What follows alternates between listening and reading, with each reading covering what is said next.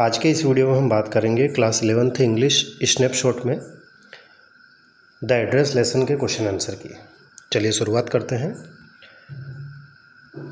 पहला क्वेश्चन दिया गया है have you come back said the women महिला ने कहा कि क्या तुम वापस आ गई, आ चुकी हो? I thought that no one had come back मैंने तो सोचा था कि कोई वापस नहीं आया है। Does this statement give some clue about the story क्या ये जो स्टेटमेंट है, जो इन्वर्टेड कॉमा में है यह स्टेटमेंट कहानी से संबंधित कोई क्लू या कोई सबूत आपको देता है? If yes what is it यदि हाँ तो वह क्या है? कौन सा क्लू है? चलिए आंसर की ओर चलते हैं। This statement indicates that the two families knew each other यह स्टेटमेंट इस बात का संकेत देता है कि दो परिवार एक दूसरे को जानते हैं। दे स्टेट नियर बाय वे पास में रहे होंगे, रहे and were probably probably familiar और शायद वह फेमिलियर भी होंगे। फेमिलियर मतलब दोनों के बीच में, दोनों परिवारों के बीच में अच्छे संबंध होंगे। When the war is war was on जब युद्ध चल रहा था, चालू था some people left their homes to take refuge in distant lands कुछ लोग उनके घर छोड़कर पास की ज़मीन में या पास के गाँव में, ज़मीन में, शहर में रिफ्यूज़ मतलब शरण लेने के लिए वहाँ पर चले गए। रिफ्यूजी बनकर चले गए, है ना? रिफ्यूजी मतलब शरणार्थी। People who remained there thought that those who had left would never return और वे लोग जो कि वहीं रह गए युद्ध के दौरान, लोगों ने ये सोचा कि शायद वो अब कभी लौट कर नहीं आएँगे। Mrs Dorling thought that the entire family of Mrs S was killed during the war और मिसेस डॉर्लिंग ने भी यही सोचा था कि मिसेस एस का पूरा परिवार जो है अब कभी वापस नहीं आएगा। कहानी हमने पढ़ी हुई है स्टोरी हमने अच्छे से पढ़ी हुई है। तो स्टोरी आपको यदि अच्छे से याद है तो आपको सारी चीज़ें क्लियर होती जाएँगी कि मिसेस डॉर्लिंग कौन है मिसेस एस कौन है, उनकी लड़की कौन है। ठीक है ना? नेक्स्ट क्वेश्चन की ओर चलें। The story the address is divided into pre war and post war two times the address नाम की जो कहानी है, इसको दो भागों में बताया गया है divided into two pre war मतलब प्री वार मतलब युद्ध से पहले की कहानी पोस्ट वार मतलब युद्ध के बाद की कहानी. What hardships do you think the girl underwent during this time कहानी की जो नरेटर है, जो एक लड़की है वह किस प्रकार की पीड़ा या किस प्रकार की स्थिति से होकर गुजरी है? ठीक है ना? दोनों समय में। ये हमें इसमें देखना है। आंसर होगा, the family of the girl was rich before the war. युद्ध के पहले लड़की का परिवार एक धनी परिवार था, रीच था, रुपया पैसे वाला था and the had valuable possessions in their house और उनके घर में काफ़ी कीमती सामान थे पजेसन्स थे। है ना, घर के सामान थे हाउस होल्ड्स थे। पजेसन का अर्थ होता है कोई ऐसी वस्तु जिस पर हमारा अधिकार हो, उसको पजेसन बोलते हैं। वेन द वार स्टार्टेड जब युद्ध शुरू हुआ Mrs Dorling established contact with them and started visiting them frequently जब युद्ध शुरू हुआ तो मिसेज डोर्लिंग ने उनसे कांटेक्ट बनाया और फ्रिक्वेंटली वह उनके घर जाती रहती थी। है ना फ्रिक्वेंटली का अर्थ यह है कि लगातार जाते रहना, जैसे आज चली गई, फिर दो दिन बाद, फिर तीन दिन बाद, फिर चार दिन बाद, ऐसे।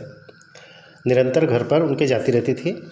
She started taking their possessions with whenever she would visit as she believed if they would leave the place such things should not be wasted और इस विश्वास के साथ उनकी वस्तुएँ भी लेकर आती थी। जब जब भी वह मिसेस एस के घर जाती थी मिसेस डॉर्लिंग तो वस्तुएँ वहाँ से ले लेकर आती थी और इस इस विश्वास में लेकर आती थी कि यदि ऐसी स्थिति बने कि आपको, आपकी जगह छोड़नी पड़े तो आपका जो है सामान ये वेस्ट नहीं जाएगा और मैं इनको संभाल के रखूँगी। ये तो प्री वार की स्थिति थी। आफ्टर वार में क्या हुआ? पोस्ट वार की बात है। आफ्टर द वार युद्ध खत्म होने के बाद the girl suffered a lot वह लड़की, जो कि द एड्रेस जो एड्रेस उसकी माँ के द्वारा बताया गया था, उस एड्रेस पर जब जाती है the girl suffered a lot मतलब युद्ध के बाद लड़की काफ़ी पीड़ित रही। हर मदर डाइड उसकी माँ डाइड मतलब मर गई, शांत हो गई, देहांत हो गया। She had to live in a rented house उसको किराए के घर पर रहना पड़ा। रेंट से रेंटेड बना है। रेंटेड मतलब किराए का घर। Her mother had told her about their possessions lying Mrs Dorling's and girl wanted her belong back. लड़की की माँ ने उसे ये बता रखा था कि अपना जो सामान है, जो पोजेशंस हैं, वो मिसेस डोरलिंग के यहाँ पर है। और एड्रेस भी बता दिया था। तो लड़की चाहती थी कि उसका सारा बिलोंगिंग्स मतलब उससे संबंधित जो भी सामान है, वह सामान वापस लेकर आए। But when she met Mrs Dorling, परंतु लड़की जब मिसेस डोरलिंग से मिली she saw her good behaviour उसने कोल्ड बिहेवियर माफ़ कीजिएगा उस महिला का बिहेवियर बदला हुआ बिहेवियर देखा। मतलब कोल्ड बिहेवियर का मतलब यहाँ पर यह है कि मिसेस डोडलिंग का उसके प्रति जो बिहेवियर था, वो चेंज था और नॉट इंटरेस्टेड था, इसलिए इसको कोल्ड बिहेवियर कहा गया है। She lost interest in those things और उन चीज़ों में अपनी जो रुचि उसको थी, वह रुचि वो लॉस्ट हो जाती है, उसकी वो रुचि नहीं रहती है, खो जाती है। The girl finally decided to leave that house अंततः लड़की ने निर्णय लिया कि वह उस घर को छोड़ देगी, उस एड्रेस को छोड़ देगी और दूसरी बार कभी वहाँ जाना नहीं चाहेगी। That house and forget the address forever और हमेशा के लिए उस पते को, उस एड्रेस को भूलना चाहती। है क्वेश्चन नंबर थर्ड है why did the narrator of the story the address want to forget the address कहानी की जो कथावाचक है नरेटर मतलब जो हमें कहानी सुना रहा है, कथानक। वो लड़की, वह उस एड्रेस को क्यों भूलना चाहती है? अभी पिछले क्वेश्चन में हमने ये देख लिया है इम्पोर्टेंट क्वेश्चन है ये। The narrator went to the house of the lady narrator उस एड्रेस पर जाती है who had promised to keep the valuable items of her mother safe during the war who मतलब जो कि। जो कि मतलब ये हु किसके लिए प्रयोग हुआ है? उस महिला के लिए, उस लेडी के लिए प्रयोग हुआ है, जो उसका सामान लेकर गई है। जो कि ये प्रोमिस कर चुकी थी कि वह उसके घर के सारे आइटम्स को सुरक्षित रखेगी।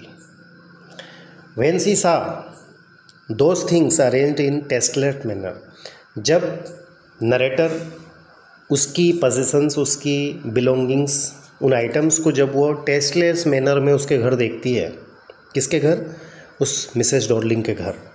She wanted to forget the address तो वह फिर उस पते को भूल जाना चाहती है। एंड लीव द हाउस और उस घर को छोड़कर चली जाती है।